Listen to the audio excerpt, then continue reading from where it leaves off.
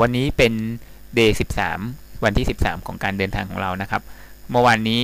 เราก็พักอยู่ที่เมืองอินสบรูกนะครับ โดยที่ก่อนหน้านี้เรามาจากมิวนิกนั่งรถเนี่ยเส้นเขียวๆ ก็คือนั่งรถฟิกบัสรถบัสสุดสุดถูกของเราทำให้ความฝันในการมาอินสบรูกของเราเป็นจริงนะครับ หลังจากที่อินสบรูกเสร็จแล้วเราก็จะกลับเข้าชายแดนเยอรมันนะครับ ก็เนี่ยเส้นดำๆเนี่ยแหละคือเส้นแบ่งเขตแดนตอนนี้ ก็คือเราพักที่อินสบรูกอ่า ที่อยู่ในเมืองออสเตรียนะครับตอนนี้เราจะกลับเข้าเยอรมันนะครับ วันนี้ที่พักของเราก็จะไปเมืองนี้นะครับ Garmisch-Partenkirchen นี่นะครับ ชื่อยาวมากๆ เราจะพักกันที่เมืองนี้นะครับ ก็เป็น Garmisch-Partenkirchen เนี่ยก็เป็นเมืองที่เรา add เข้ามาทีหลังนะครับก่อนหน้านี้ตั้งแต่เริ่มต้นจนกระทั่งถึงอินสบรูกเนี่ยเราเรียกว่าเป็นช่วงคลาสสิกก็คือเรามาเน้นชมบ้านเมืองเป็นหลักนะครับ มีตึก เก่าๆสวยๆมากมาย คือเก่าที่ว่านี้ไม่ใช่เก่าแบบโทรมไม่ไม่ดูแลนะครับ คือเก่าของเขาเนี่ยคือเก่าแบบเขาดูแล แต่เขายังรักษาสถาปัตยกรรมดั้งเดิมในสมัยก่อนของเขาอยู่ ไม่ใช่เก่าโทรมแบบฝุ่นเขรอะอะไรอย่างนี้นะครับ ทีนี้เราก็จะเข้าสู่ช่วงที่เรียกว่า scenery ก็คือส่วนใหญ่เป็นทิวทัศน์ที่สวยงามนะครับ บ้านเมืองก็จะอาจจะเริ่มเป็นชนบทนะครับ ก่อนที่เราจะกลับเข้าไปคลาสสิกกันอีกครั้งหนึ่งในช่วงถัดไป scenery ก็จะกินเวลาหลายวันหลังจากนี้นะครับ ก็วันตามโปรแกรมวันนี้ จากเมือง Garmisch-Partenkirchen เนี่ยเราก็จะออนอกจากในเมืองนี้แล้วเราก็จะไปเมืองอีกเมืองหนึ่ง Mittenwald ที่อยู่ติดกับพรมแดนเยอรมันออสเตรียด้วยนะครับ ก็สำหรับจุดขึ้น Flixbus ที่เมืองอินสบรูกนะครับ ก็จะอยู่ใกล้ ๆ กับสถานีอินสบรูกครับบานฮอฟอยู่แล้วอยู่ข้างหน้าเลยเนี่ยอยู่ไปทางขวานี้นะครับ แต่ว่าไม่มีในรูปนะแต่ว่าไปทางขวานิดนิดเดียวเอง จุดจอดเนี่ยก็ หมุดสีน้ำเงินก็คือโรงแรมที่เราพักนะครับ Golden Crown นะครับ ก็เพียงแค่เดินลงมาตรงนี้ ออกกันสายนิดนึง9โมงครึ่งสาเหตุไม่ใช่อะไรนะครับ เออเป็นสิ่งที่เราลืมคิดถึงตอนก่อนที่จะวางแผนก็คืออาหารเช้า Golden Crown เขาแพงก็จริงแต่เขามีอาหารเช้าให้ด้วย แต่แล้วสุดท้ายเราก็งกอาหารเช้านะครับ ก็กินอาหารเช้ากันก่อนนะครับ แล้วก็ถึงจะมานะครับ แต่เพอๆไม่แน่ตอนหลังความโลภของเราอาจจะทำให้เราเกิด เปลี่ยนแผนไม่เอาอาหารเช้าก็เป็นไปได้ แต่ตอนนี้เราแผนตามแผนคือเอาอาหารเช้าฉะนั้นเราก็เลยออกกันช้านิดนึงเก้าโมงครึ่งทีนี้ในเมืองกามิสปาเทนนะครับ เรานั่งฟิกบัสมาเขาก็จะจอดอยู่ใกล้ๆสถานีรถไฟเหมือนกันเรื่องตรงจุดของสถานีรถไฟนะครับของเมืองกามิสก็เราก็จะต้องไปเก็บกระเป๋าที่โรงแรมนี้ก่อนนะครับเอ่อที่ที่ อยู่ไกลเพราะว่าเราเอาที่ราคาถูกไว้ก่อน ซึ่งโรงแรมที่อยู่ใกล้ๆสถานีรถไฟเนี่ยจะค่อนข้างแพง 3,000 กว่าขึ้นไปเลยนะครับ แต่โรงแรมนี้เราจองได้ที่ราคาเพียงแค่ 2,300 เท่านั้นเอง เราก็ยอมหยวนหยวนแล้วก็โรงแรมก็ดูดีด้วยนะครับ โรงแรมในเขตเนี้ยเขาดีอยู่อย่างหนึ่งคือเขตทางด้านล่างของบาวาเรียเนี่ยเขาเรียกว่า Oberbayern เนี่ยเขาจะมี free bus ticket ให้ free bus ticket เนี่ยส่วนใหญ่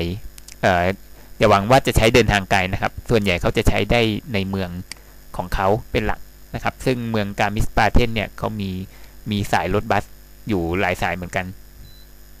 ครับอันนี้ก็ให้ดูคร่าวๆนิดนึงนะครับ สายรถบัสของเมือง Garmisch-Parten นะครับ ก็จะมีประมาณ 5 สายด้วยกันนะครับ ก็สถานีรถไฟก็คืออยู่ตรงนี้ตรงกลางนะครับ แล้วก็ Rathaus คือ town hall ก็คือตรงนี้อยู่ใกล้ๆกัน ส่วนที่พักของเราก็คือป้ายนี้ Mittenwalder Straße นี้นะครับอ่าก็ทีทีนี้เราก็ตอนขามาเราก็เดินจากสถานีรถไฟไปที่โรงแรมนะครับ แล้วเราก็จะขอ free bus free bus ticket กับเขา แล้วเราก็จะนั่งรถเมล์กลับมาที่สถานี Hauptbahnhof นี่นะครับ ทีนี้จุดเที่ยวเนี่ยก็จะมีอ่าส่วนใหญ่เขาจะในถ้าภายในเมืองนะครับ จุดเที่ยวก็จะอยู่แถบๆนี้ ใกล้ๆกับ Bahnhof นี่นะครับ ทีนี้ก็จะมีกระเช้า นะครับ กระเช้าก็จะมีกระเช้าขึ้นเขาซุกสปิเซ่นี่นะครับ ซึ่งเราไม่ได้ไป เราก็เลยไม่รู้มันอยู่ตรงไหนนะครับ แต่น่าจะเป็นอันนี้นะครับ เพราะชื่อมันมีอยู่สปิเซ่นี่ราคาค่อนข้างสูงนะครับ ประมาณคนละห้าสิบกว่ายูโร ก็เขาก็จะขึ้นไปไปเล่นสกีอะไรอยู่บนนั้นนะครับ แต่มันจะมีอีกจุดหนึ่งกระเช้าที่ถูกกว่านะครับ แต่ก็ไม่ได้ขึ้นเหมือนกันนะครับ เพราะว่าเวลาไม่เอื้อมหน่วย แล้วก็คนข้างๆไม่อนุมัติด้วยนะครับ ก็ คือเรียกว่าแว้งบานตรงจุดนี้ แล้วก็นั่งรถเมล์สายเนี้ยสายสี่หรือสายห้าเนี่ยก็คือมาตรงนี้ คือจริง ๆ มีรถเมย์เนี่ยคืออุปสรรคอย่างหนึ่งของรถเมย์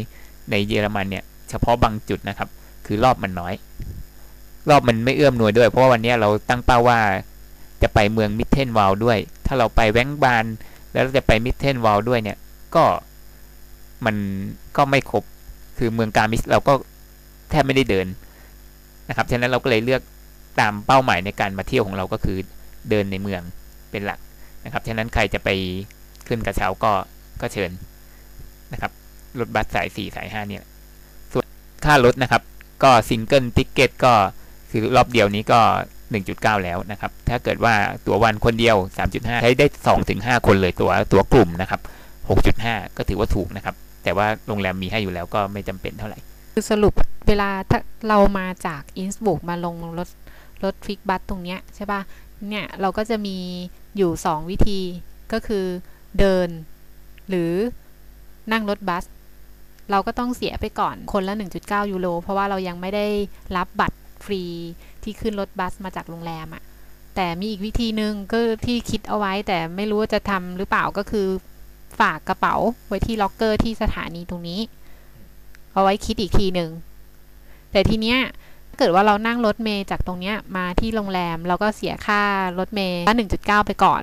แล้วเราก็รับบัตรฟรีจากโรงแรมเนี่ยไปมิทเทนวาลแต่ว่าไอ้บัตรเนี่ยมันต้องคืนเขาใช่ป่ะ เพราะฉะนั้นในวันรุ่งขึ้นที่เราจะนั่งรถบัสจากโรงแรมมากลับมาที่ตรงเนี้ยเราก็ต้องจ่ายค่ารถบัสอีกทีหนึ่งเป็นอีเมลที่เราถามจากโรงแรมของเรามานะครับ เกี่ยวกับ ฟรีบัสทิเกตของของที่โรงแรมในเขตโอเบอร์บาเยนเนี่ยจะให้กับคนที่เข้าพักนะครับ เขาก็บอกว่าตั๋วเนี่ยจะใช้ได้กับเฉพาะในเมืองของ Garmisch-Partenkirchen เท่านั้นนะครับ ไม่สามารถใช้ได้กับ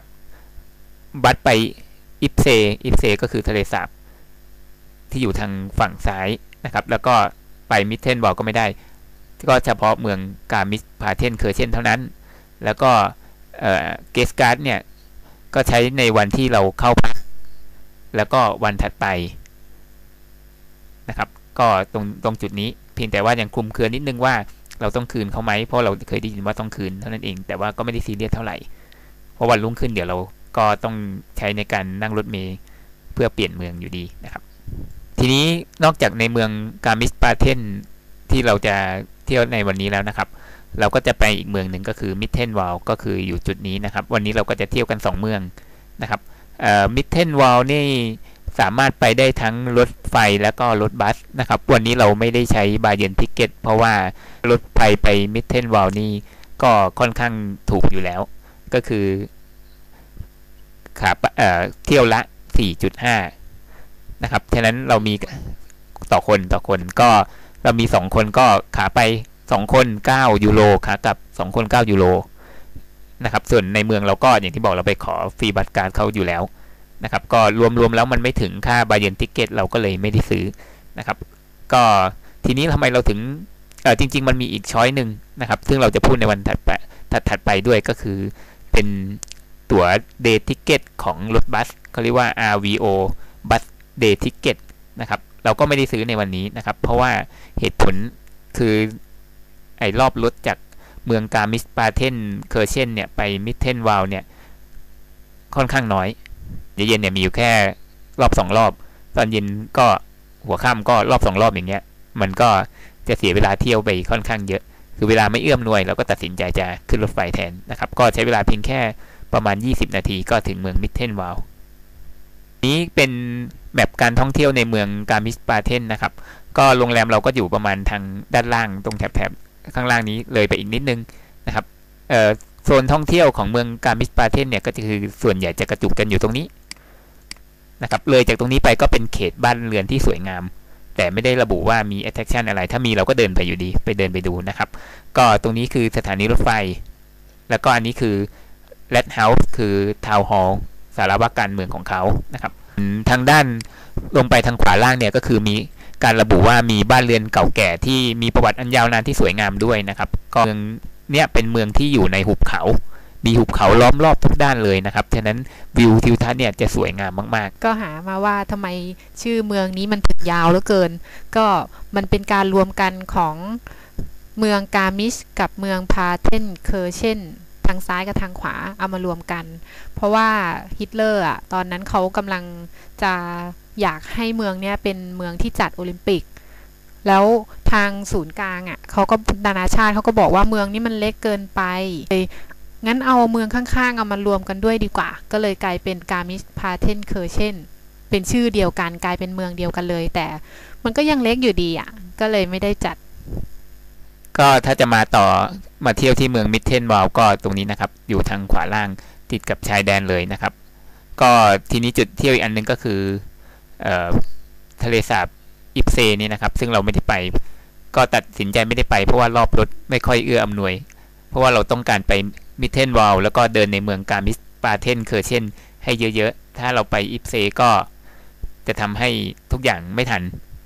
นะครับ ก็เลยตัดสินใจไม่ได้ไปแต่ไม่เป็นไร เพราะว่าวันหลังจากนี้ก็มีวันที่ไปทะเลสาบเยอะอยู่แล้วนะครับ แล้วก็อีกอันนึงก็คือยอดเขาซุกสปิเซนี่นะครับ ก็เราก็ไม่ได้ไปเพราะว่ามันค่อนข้างแพง เดี๋ยวเอาไว้ถ้ามีโอกาสก็อาจจะมานะครับ ก็เป็นการจบวันที่ 13